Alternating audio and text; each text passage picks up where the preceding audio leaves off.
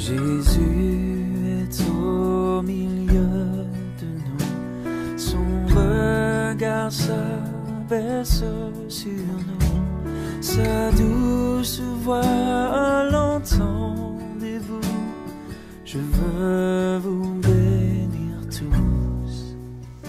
Je suis catholique et j'ai été dans un état de santé déplorable, car j'étais possédé du démon, qui faisait progressivement empirer mon état depuis 12 ans. J'avais consulté un grand nombre de prêtres, sans parler des médecins, que jamais personne n'avait envisagé la véritable cause de ma maladie incurable. Certains exorcistes que j'ai rencontrés ne connaissaient même pas les rudiments de leur ministère, au point qu'ils n'avaient jamais remarqué que je présentais des signes laissant supposer qu'un exorcisme était nécessaire. Un prêtre m'a même dit, Mais vous croyez encore aux démons? Moi, je ne crois qu'en la psychiatrie. Mes questions sont donc, qui peut exorciser? N'importe quel prêtre peut-il pratiquer un exorcisme? Quelles sont les qualités requises pour qu'un prêtre puisse être exorciste? Que doit-il savoir pour devenir exorciste? Alors, vous avez commencé par dire, je suis catholique. Puisque vous êtes catholique, je vais vous répondre selon les normes catholiques. Dans l'Église catholique, le ministère de l'exorcisme réside en plénitude dans la personne de l'évêque. C'est donc l'évêque qui est le premier exorciste de son diocèse. Et comme souvent les évêques sont occupés, l'évêque choisit dans son diocèse un prêtre qui reçoit par délégation de lui ce ministère, qui devient alors institutionnel. C'est le canon catholique hein, qu'on appelle le canon 1772 qui déclare ceci, le canon 1772 déclare ceci. Personne ne peut légitimement prononcer des exorcismes sur les possédés, à moins d'avoir obtenu de l'ordinaire du lieu une permission particulière et expresse. Cette permission ne sera accordée par l'ordinaire du lieu qu'à un prêtre pieux, éclairé, prudent et de vie intègre. Notons la première chose que nous dit ce canon 1772. Personne ne peut légitimement prononcer des exorcismes sur les possédés, à moins d'avoir obtenu de l'ordinaire du lieu, donc de l'évêque, une permission particulière et expresse. Ainsi, selon ce canon, un prêtre ne peut pas prononcer des exorcismes sans l'accord de l'évêque. Normalement, chaque diocèse devrait posséder au moins un exorciste, chaque diocèse. Le fidèle donc euh, doit vérifier s'il s'agit bien d'un prêtre mandaté par son évêque. Il faut qu'il vérifie si ce prêtre a été mandaté par son évêque. Sur ce point, je pense hein, personnellement que la différence entre un prêtre tout court et un prêtre exorciste, que ça crée des clivages. Ça crée des clivages parce que normalement, tout prêtre est exorciste et ne devrait avoir aucune autorisation particulière pour prononcer l'exorcisme. Or, le prêtre possède beaucoup plus que chasser le démon. Le prêtre absout les péchés. Il célèbre l'Eucharistie. Même la mère de Dieu ne peut pas absoudre les péchés, célébrer l'Eucharistie. Alors comment peut-on limiter son pouvoir comme si chasser le démon était plus délicat que célébrer l'Eucharistie? Normalement, tout prêtre a cette faculté. C'est pourquoi dans l'Église orthodoxe, un prêtre exerce ce ministère par une grâce spéciale du Saint-Esprit. Ici, dans l'Église orthodoxe, on privilégie plus le don charismatique. On n'a pas besoin de l'autorisation de son évêque on attache plus d'importance au don charismatique et moins au pouvoir donné ex officio par l'autorisation de l'évêque. Par exemple, Saint Antoine pratiquait régulièrement l'exorcisme, pourtant il ne fut pas un exorciste euh, officiel. Donc euh, voilà. Et puis, notons un peu le deuxième point que dit le canon, le canon que nous venons de lire. Cette permission ne sera accordée par l'ordinaire du lieu qu'à un prêtre pieux, éclairé, prudent et de vie intègre. Un prêtre exorciste doit être pieux, éclairé, prudent, de vie intègre. Ainsi, il doit posséder des compétences et des charismes nécessaires pour exercer ce ministère. Compétences et charismes. Tous les prêtres qui sont appelés à ce ministère doivent avoir un certain profil. Le test nous dit qu'il doit être pieux. C'est-à-dire il doit avoir une vie de prière forte. Il ne passe pas son temps à manger et à boire. Un jour, les apôtres n'avaient pas pu chasser un démon. Ils ont demandé à Jésus, mais pourquoi n'avons-nous pas pu chasser ce démon? Et Jésus leur dit, c'est parce que ce genre de démon ne sort que par la prière et le jeûne. Donc, ce qui veut dire que plusieurs exorcismes, plusieurs exorcismes échouent parce que ceux qui les pratiquent ne prennent pas souvent le temps de se préparer dans la prière et le jeûne. C'est Marc-Antoine Fontenelle qui disait dans le livre Comprendre et accueillir l'exorcisme à la page 130, il disait l'exorcisme n'agit pas à la manière des sacrements ex opere operato. Il est de fait très dépendant de la prière de l'exorciste. Il arrive qu'en priant mieux, on obtienne ce que l'on n'avait pas obtenu préalablement. Donc un exorciste, c'est un homme de prière et de jeûne. C'est un ascète, on aurait dit. Avant l'exorcisme, le prêtre exorciste, il se retire du monde. Il jeûne, il prie. La préparation du prêtre peut commencer la veille de l'exorcisme. Parfois, selon le cas, plusieurs jours avant. On raconte que Saint, Antoine avait chassé le démon d'une personne qui mangeait plus de, plus de 200 kilos de, de viande. Il était obligé, pour chasser le démon de la boulimie, de faire sept jours de jeûne. Donc, ce sont des personnes qui se préparent. Et lors de leur préparation spirituelle, généralement, les prêtres exorcistes prient pour trois choses. Ils prient pour qu'ils obtiennent le pardon de leurs propres péchés. Ils fréquentent régulièrement le sacrement de pénitence. Ce sont des gens qui se confessent beaucoup. Parce que le démon peut dire le péché du prêtre pendant l'exorcisme. Il peut dire tu es ceci. Parfois, il refuse de sortir à cause d'un péché mortel du prêtre. Et donc, les prêtres exorcistes se confessent beaucoup. Vous savez que tout péché qui a été confessé ne peut pas être dévoilé, ni devant le jugement de Dieu, ni devant Satan. Tout péché qui a été confessé et pour lequel on a fait une juste pénitence.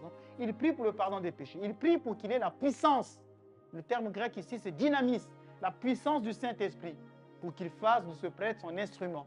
Il demande ardemment à l'Esprit Saint les charismes nécessaires, pouvoir, guérison, discernement.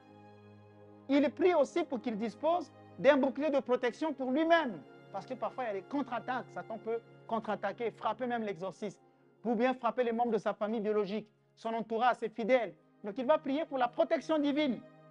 Il va invoquer la Mère de Dieu. Il va invoquer les archanges Michel, Gabriel et Raphaël, son ange gardien, les autres saints thaumaturges, pour que ce soit avec la grâce de leur présence et de leur, et de leur intercession que se déroule l'exorcisme. C'est pourquoi dans l'Église orthodoxe, les exorcistes sont souvent des moines, qu'on appelle les hiéromoines. Hiéromoine veut dire prêtre moine. Hiéromoine, c'est-à-dire des prêtres moines. Dans l'Église orthodoxe, on veut surtout que ce sont les moines qui, par leur ascèse, reçoivent éventuellement de l'Esprit Saint ce charisme de délivrance. C'est ainsi que l'exorcisme est souvent pratiqué éventuellement par des moines, avec la bénédiction de leur égoumène. Égoumène, c'est le supérieur du monastère. Ils vont pratiquer cet exorcisme dans le monastère, dans la plus grande discrétion, après un long temps d'ascèse et de prière du moine et de celui qui se dit être sous son emprise. Donc, notons qu'il doit être pieux. Et ça, l'Église catholique a raison qu'un exorciste ne passe pas son temps à manger, à boire. Le texte nous dit qu'il doit être éclairé. Ça veut dire quoi? Ça veut dire que le, prêtre exorciste doit avoir la capacité de discerner. Il doit être éclairé, avoir la capacité de discerner qu'il s'agit d'un démon ou pas. Ce n'est pas quelqu'un qui va vous envoyer tous les jours chez le psychiatre, chez le psychologue. Normalement, il doit avoir le don du discernement des esprits. Dès qu'il regarde, il sait qu'ici on est en présence du démon ou pas. Par exemple, le père de Gabriele à celui qui fut l'exorciste du Vatican, raconte que son père spirituel, celui qui l'a initié à l'exorcisme, pouvait savoir si quelqu'un est possédé juste en regardant une photo de la personne. Il regarde la photo de la personne et vous dit cette personne est possédée. Donc ce ne sont pas un prêtre exorciste, mais un œil clinique. Son œil clinique, c'est le discernement. Ce n'est pas une personne qui va trouver le discernement seulement en, se mettant en contact avec des psychiatres. Or, il y a beaucoup de prêtres, notamment en Occident, qui ne connaissent pas ces réalités. C'est pourquoi, pensons bien faire, les prêtres envoient tout le monde chez des psychologues, alors qu'il doit être éclairé, avoir le don du discernement. Il arrive que le don du discernement vienne d'un don de l'Esprit Saint, ce qui est mieux. C'est pourquoi je disais il faut des charismes. Mais ça peut aussi venir par des compétences. C'est-à-dire, ce prêtre doit avoir fait des études en géologie. Il doit avoir étudié la démonologie. Il doit savoir comment réagit Lucifer, comment sortent-ils, comment réagit Belzéboul, par quelle odeur. Quand je sens telle odeur, je sais que j'ai affaire à tel démon. Par exemple, quand on fait l'exorcisme, il peut arriver que les lieux, subitement, on sent de l'odeur du soufre. Quand je sais que c'est le soufre, je sais que j'ai affaire à Asmodée. Quand je sens les odeurs, par exemple, du papier brûlé, je sais que j'ai affaire à un démon de la magie, parce que ce monsieur qui est en face de moi a pratiqué la magie. Donc il faut faire des études même en démonologie. Il faut faire des efforts, avoir été aussi formé à l'école d'un autre exorciste. Il faut que le prêtre exorciste soit expérimenté, ou bien le prêtre expérimenté doit léguer son expérience aux jeunes qui arrivent, qui débutent dans ce, ministère. Et pour être éclairé, le prêtre exorciste doit posséder des connaissances dans le domaine de la psychologie, de la psychiatrie. On ne lui demande pas d'avoir un doctorat. Ce n'est pas un prêtre exorciste, n'est pas un psychologue. Ce n'est pas un psychiatre. Il doit avoir des notions. Il y a malheureusement des personnes qui manquent de formation dans ce domaine, mais qui par euh, fanfaronnade, fanfaronnade s'autoproclament exorcistes. C'est pourquoi dans, les vieilles émissions, je vous disais, tout le monde s'improvise exorciste. Ce domaine demande des compétences et des charismes. Le troisième point nous dit que ce prêtre doit être prudent. Ça veut dire quoi être prudent? Qu'il doit faire preuve de recul et d'intelligence, qu'il ne soit pas enclin à voir le démon partout. Un prêtre exalté qui croit trop au démon ne peut pas devenir exorciste. Un prêtre exalté qui croit trop au démon, qui, qui ne fait que passer son temps sur le démon, le diable, Satan, Satan, Satan, ce prêtre ne peut pas être exorciste. Il arrive souvent qu'un prêtre exorciste soit désagréable. Un vrai prêtre exorciste, il lui arrive d'être désagréable. Comment? Il arrive qu'il refuse toute demande d'exorcisme. Ce n'est pas parce que vous allez voir un prêtre exorciste et vous allez dire Mon père, j'ai le démon. Automatiquement, il ouvre son livre, commence à faire l'exorcisme. C'est même le premier à vous dire que vous n'êtes pas possédé. Allez voir un psychiatre. Pourquoi parfois il va le dire? Parce qu'il est tellement prudent que ce n'est pas un, homme crédule. Un prêtre exorciste ne parle pas du démon euh, matin, midi, soir. C'est ce que je ne cesse de, dire euh, aux fidèles qui parfois fréquentent notre association. Je dis, on ne va pas passer notre temps ici à ne parler que de Satan. Il faut qu'on ait des temps d'adoration. Il faut qu'on parle de Jésus. Il faut qu'on puisse adorer. Il faut qu'on parle de Jésus. Il faut qu'on parle plus de Jésus. notre assemblée ne doit pas être réduite à Satan, Satan sort. Je ne veux pas de cela ici. Si je le dis, c'est parce que le prêtre exorciste est un homme prudent. Il n'est pas démonologue, il n'est pas figé sur le démon. Il arrive qu'il dise non, même à des demandes d'exorcisme. Il est, c'est un homme prudent. Le quatrième point de ce test nous dit qu'il doit avoir une vie intègre. C'est-à-dire qu'il doit avoir une vie sainte. Avoir une vie sainte ne veut pas dire que le prêtre n'a pas de défauts. Le prêtre exorciste pourra avoir des défauts. Padre Pio, parfois il lui arrive d'être dans des saintes colères. Euh, un prêtre, par exemple, qui aime l'argent, qui a commis des abus sexuels, qui commet des actes d'escroquerie, qui demande aux fidèles de l'argent, simonie, ainsi de suite, qui a une mauvaise réputation, ne peut pas normalement devenir exorciste. Ça, on ne le nommera jamais exorciste. Parce que Dieu accorde souvent le pouvoir sur les démons à des personnes droites, non une vie chrétienne exemplaire, des personnes vertueuses, c'est-à-dire qui sont humbles, qui sont chastes et qui sont obéissants à la hiérarchie. Ce ne sont pas des, personnes exaltées, ce sont des personnes souvent humbles, chastes et obéissants à la hiérarchie. Et quand on est en proximité avec de telles personnes, cela peut favoriser la délivrance des possédés en raison de la grâce qui émane de leur présence et de l'apaisement qui résulte de leur simple présence et de leur seule prière, même silencieuse. Même de leur prière silencieuse, ces gens ont reçu une grâce. Donc il ne faut pas oublier, c'est Saint Antoine encore qui disait que la simple présence d'un homme spirituel inspire une grande crainte aux démons, les fait souffrir et les pousse à fuir loin d'eux. Quand vous lirez la vie de Saint Antoine, c'est ce qu'il disait, que la simple, simple présence d'un homme spirituel inspire une grande crainte aux démons, les fait souffrir et les pousse à fuir loin d'eux. Dans la Bible, par exemple, il y a Géasi. Hein. dans l'Ancien Testament, vous lirez dans 2 Rois 4, le verset 29, on nous parle de Géasi. Le prophète Élisée lui a dit, pour ressusciter cet enfant qui vient de mourir, l'enfant de la, veuve, alors tu prendras mon bâton, tu poseras sur l'enfant et l'enfant va se réveiller. Géasi a pris le bâton, il est allé poser sur l'enfant, mais l'enfant ne s'est pas réveillé. Selon vous, pourquoi? Géasi avait le bâton du prophète, il n'avait pas l'onction du prophète. Géasi n'avait qu'une formule, mais il n'avait pas une vie sainte. C'était un homme qui aimait l'argent. D'ailleurs, plus tard, le prophète Élisée prononcera une malédiction sur lui parce qu'il a pris l'argent de, de le Syrien. Donc, il aimait l'argent. Il n'avait pas laissé ses passions. Il avait juste le bâton, mais il n'avait pas l'onction du prophète. Il avait le bâton du prophète, mais il n'avait pas la vie du prophète. Donc, avant d'être exorciste, il faut avoir une vie de sainteté. Géasi avait prophètes. Il y a des personnes, des serviteurs de Dieu, qui ont le bâton du prophète. Ils ont des livres de prières d'exorcisme, qui vont les réciter ici et là, mais eux-mêmes ont encore beaucoup de passion et ne peuvent pas être des bons exorcistes. Et je finis cela avec Acte 19, le verset 13 à 17, on nous parle des fils de Séva qui sont allés chasser le démon. Et le démon leur a dit, je connais Jésus, je connais Paul, mais vous, qui êtes-vous? Le démon a frappé ces enfants-là. Ils ont prononcé des exorcismes, mais ils n'avaient pas une vie de sainteté. Le démon ne pouvait pas trembler devant eux. J'ai 50 ans et j'ai été victime à 20 ans de sorts jetés contre moi, mais visant en réalité ma mère. On m'a fait boire du rhum soumis à un maléfice. J'ai commencé dès lors à me sentir de plus en plus mal et tous les remèdes s'avèrent inefficaces. Quelques années plus tard, je perdis ma mère et me suis senti subitement mieux. Je demeurai cependant mentalement handicapé, ne pouvant me concentrer sur aucun travail. J'ai vu des prêtres, mais je n'ai obtenu aucun bien. Je suis allé voir un berger du renouveau charismatique. Ce dernier m'indiqua les parties de mon corps les plus touchées, et il, et il appliqua sur moi de l'eau bénite.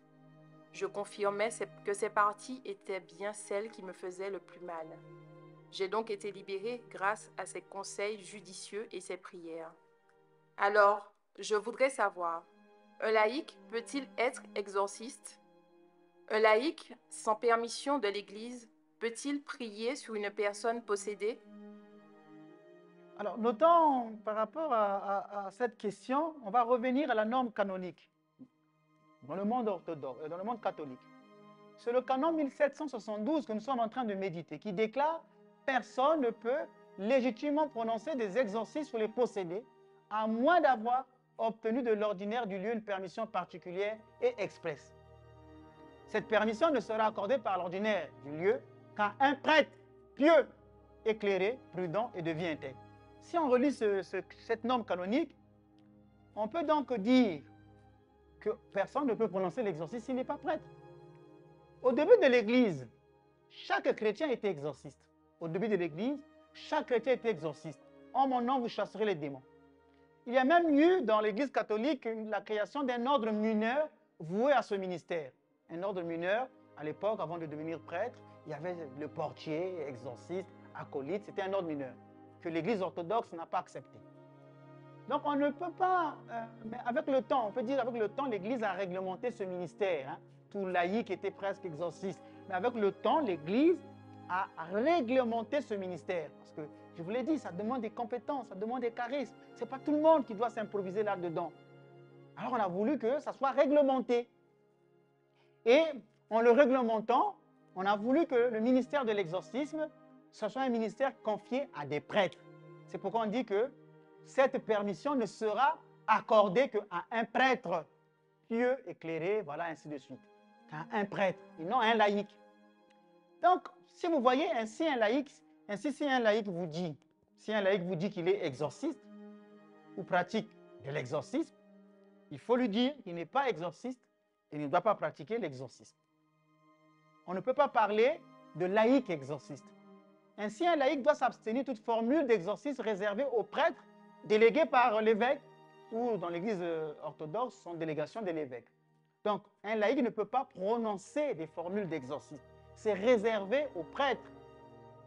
Mais peut-être qu'un jour, peut-être qu'un jour, l'exorcistat sera confié à des laïcs qualifiés. Comme aujourd'hui, par exemple, dans l'église catholique, le lectorat et la colita maintenant sont confiés à des femmes. Avant, il n'y avait pas de femmes euh, à qui on donnait le lectorat et la colita. Donc, il y a l'évolution du temps. Peut-être qu'avec le temps, l'Église euh, va commencer à former des laïcs pour exercer ce ministère-là. Peut-être. Mais donc, on met à l'heure actuelle, à l'heure actuelle, on ne peut pas parler de laïcs exorcistes. Mais, mais, mais, mais, mais, attention. Il existe des laïcs qui ont des charismes de délivrance. C'est pourquoi, lorsqu'on ne trouve pas, par exemple, de prêtre exorciste, moi, je conseille souvent aux personnes de trouver des laïcs capables de faire des prières de libération. Et parfois, je reçois des appels de Paris. Je connais un berger qui est à Paris, qui, fait ce ministère de libération. Quand des gens qui sont à Paris m'appellent que je me retrouve soit en Afrique ou dans les îles, dans les Antilles, dans les, dans les îles, je leur dis souvent, je connais un berger, allez le voir, priez avec lui. Saint Benoît, par exemple, n'était pas prêtre, mais il était doté d'un pouvoir sur les démons. D'ailleurs, il est le patron des exorcistes, mais il n'était pas prêtre. Donc, il y a des laïcs qui ont un ministère parfois beaucoup plus efficace que l'exorciste. Donc, quand on dit que les laïcs ne peuvent pas être exorcistes, ce n'est pas une manière de les, sous-estimer ou de les réduire à rien. Non, il y a des laïcs qui ont des charismes parfois plus forts que des prêtres exorcistes. Mais ils ne sont pas appelés exorcistes. Ils ont simplement le pouvoir de faire des prières de libération. Ils ne prononcent pas des prières d'exorcisme au sens strict du terme. Ils peuvent faire des prières de libération et l'Esprit Saint agit parce qu'ils ont reçu des charismes et les guérisons se font au Père. Sainte Catherine de Sienne, de Sainte Catherine de Sienne, au XIVe siècle, chassait les démons que les prêtres n'arrivaient pas à chasser. C'était une femme, une sainte. Elle chassait les démons que les prêtres n'arrivaient pas à chasser. Donc dans l'Église, il existe des laïcs qui ont reçu le charisme de délivrance sans être forcément mandatés par la hiérarchie. Et il arrive que ce charisme soit reconnu de la part de l'Église après le contrôle de ce ministère. Ce charisme agit, en termes latins, on aurait dit ubi et quando visum est Deo. Ce qui veut dire où et quand Dieu l'a cru bon. Parfois, c'est un charisme qui peut être temporaire. C'est-à-dire, il y a des personnes qui ont fait ces prières de libération pendant une année, ça leur marchait. Après, Dieu peut dire, bon, maintenant c'est bon.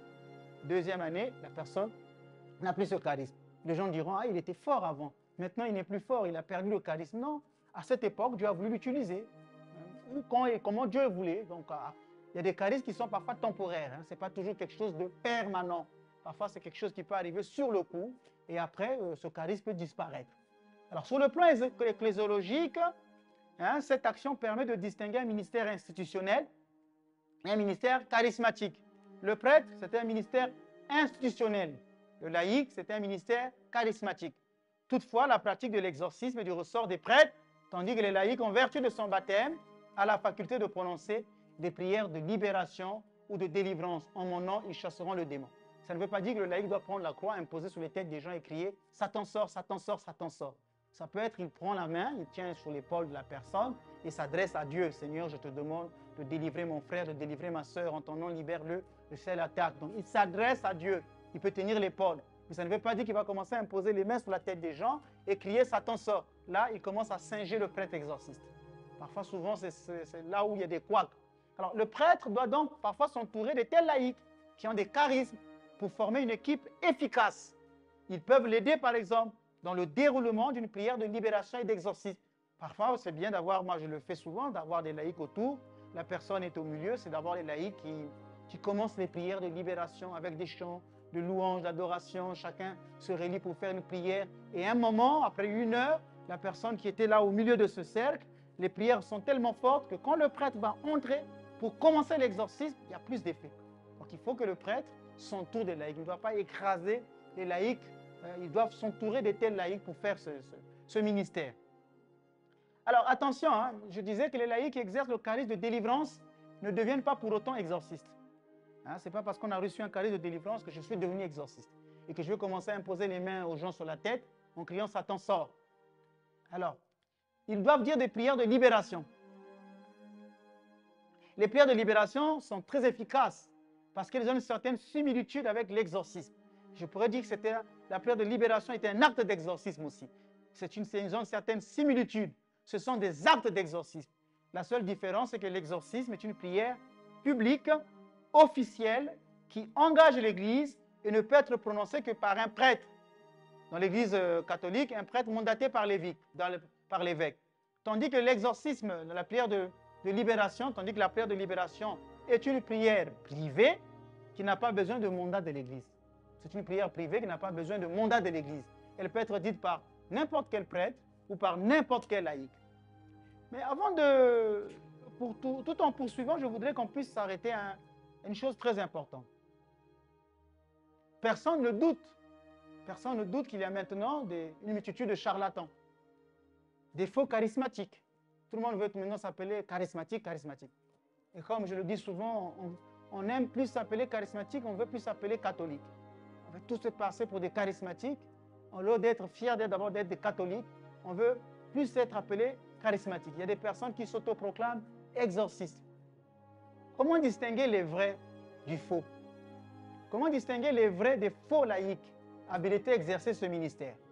Je vais répondre à ça. Normalement, il faut demander à l'autorité de l'Église. Donc, normalement, c'est l'évêque. Son point de vue sur ce laïc. Que pense-t-il d'abord de ce laïc?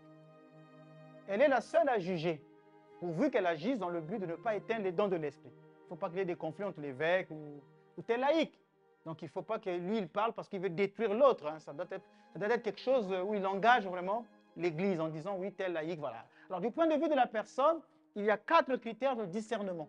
Comment distingue-t-on un vrai laïc qui exerce ce ministère et un faux? Il y a quatre critères de discernement. Premier critère, le laïc doit vivre une vie évangélique. C'est un homme qui prie aussi, qui fréquente les sacrements, qui est humble et soumis à la hiérarchie de l'Église. Il ne fait pas de la publicité à la télévision, sur Internet. Il y a des laïcs qui veulent être reconnus comme charismatiques ou exorcistes à cause du prestige que peut leur donner ce titre. Est-ce que cet homme pratique-t-il les sacrements de l'Église? Est-il marié? Est-ce que lui-même prie? Est-ce qu'il va à la messe? Deux, le laïc doit être désintéressé. Un laïc qui prétend chasser le démon le fait-il par désintéressement total? N'y a-t-il pas derrière cet apostolat un but lucratif? Il n'est pas un escroc qui se fait de l'argent au frais des malades? J'aurais même voulu qu'il puisse être un homme qui travaille. Il ne faut pas que ce, service soit un camouflage, hein, parce qu'on n'a pas pu euh, trouver du travail, eh bien j'en fais un métier. Est-ce qu'il vit grâce à cela? Est-ce qu'il demande de l'argent aux personnes? Est-ce que lui, il travaille? N'y a-t-il pas un but lucratif dans ce qu'il fait? C'est pourquoi dans les émissions passées, je vous disais, mais tout le monde s'autoproclame exorciste, alors que normalement, c'est un, service gratuit. Je ne sais pas si on y gagne de l'argent. Trois, le laïc qui, qui, exorcise, utilise-t-il des prières et pratiques de l'Église? Est-ce que les moyens qu'il utilise, sa croix, son eau bénite, son encens, sont-ils bénis par un prêtre ou par lui-même? Est-ce que c'est lui qui bénit l'eau, qui bénit le sel, qui bénit sa croix Les livres ou les formules qu'il utilise sont-ils étranges aux coutumes de l'Église? Je connais une, dame qui, était, qui disait être bergère, qui imposait les mains aux gens, qui faisait beaucoup de prières mais elle avait toujours des prières qui, qui des prières de l'abbé Julio, hein, des livres bizarres avec des pentacles, tout ça. Mais elle faisait ces prières, mais elle était qui était bergère. Donc, est-ce que les prières sont reconnues par l'Église? Aujourd'hui, nous avons des belles prières dans l'Église, des belles prières, comme le Salve Regina. Nous avons des belles prières dans l'Église. Mais on veut toujours copier les prières des autres églises, hein, des mouvements pentecôtistes. On veut toujours aller piocher des prières ailleurs. Est-ce que les prières utilisées sont telles des prières de l'Église? Il faut se méfier des faux exorcistes qui utilisent des pratiques chrétiennes avec des procédés magiques et formules superstitieuses, des pentacles, des pendules, qui vont vous demander d'aller à la mer. Si un exorciste euh, vous propose des talismans, au prix fort bien entendu, ils vont vous demander un peu d'argent pour, pour protéger, vous demander un petit sachet rempli de sable. Il faut aller prendre du sable dans un cimetière. Il faut se méfier. Là, on est dans l'ésotérisme. Il y a aussi ceux qui font de l'exorcisme avec des pratiques de superstition, des contre-rites. Tout cela finit dans la magie, ce qui fait qu'aggraver la situation. Malheureusement, bon, il y a des gens qui font de l'exorcisme en faisant aussi des pratiques de magie. Ils vont vous dire, euh, non, mais moi je ne fais que de la magie blanche. Ce sont souvent des personnes pieuses qui vont toujours à l'église. Hein. Ils vont toujours à l'église et des personnes pieuses qui vont vous dire que moi, je ne pratique que de la magie blanche. Il n'y a pas de magie blanche, il n'y a pas de magie noire, tout est magie. Il n'y a pas de magie blanche, il n'y a pas de magie blanche, tout est magie, car c'est le diable qui agit dans toute magie. Et le diable ne se chasse pas avec le diable. Et quatrièmement, comme critère de discernement, le laïc ne doit pas détourner les fidèles de la foi. Ce laïc ne doit pas, se mettre au piédestal en pensant qu'il est devenu prêtre. Et les laïcs qui ont cet esprit, dès qu'ils ont des dons, des charismes, des charismes, il se compare au prêtre et il dit, oh, il ne faut pas aller voir tel prêtre, il ne connaît rien. Euh, viens, viens prier avec moi, ce prêtre-là, il ne connaît rien. Il commence à séparer les fidèles des prêtres ou séparer même les fidèles de la messe. Oh, pourquoi tu vas à la messe euh, La messe, vaut mieux aller à la messe euh, dite par exemple en latin, comme si Dieu n'écoute que tel ou tel ordre, alors qu'il n'y a pas de messe plus forte qu'une autre messe, tout est messe. On commence à changer à, dire, bon, il faut, il faut parler sur tel prêtre, n'est pas charismatique. Est-ce que ce laïc me détourne-t-il de la foi? Me détourne-t-il des pratiques de l'Église? Ce laïc me loigne-t-il de l'Église par ses enseignements? En ce moment-là, il faut s'en méfier. Donc il faut toujours des critères de discernement. Sinon, euh, il y a des laïcs qui ont bien des dons, des charismes de l'Esprit Saint, pourvu qu'ils agissent dans l'humilité et la soumission à l'Église.